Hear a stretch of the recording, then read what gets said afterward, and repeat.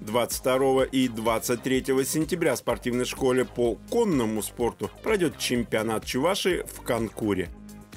23 сентября на центральном стадионе города Мариинский Посад пройдут республиканские соревнования по легкой атлетике на призы заслуженного мастера спорта страны чемпионки 26-х Олимпийских игр Елены Николаевой подопечные Республиканской Федерации бодибилдинга и их коллеги из соседних регионов 23 сентября на сцене Дворца культуры Чувашского госуниверситета определят обладателей титулов чемпионов республики.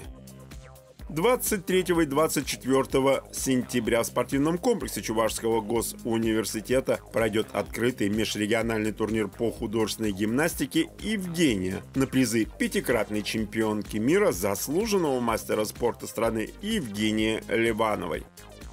В Чувашском Заволжье 23 и 24 сентября представители Федерации спортивного туризма определят сильнейших в чемпионате и первенстве Чувашии.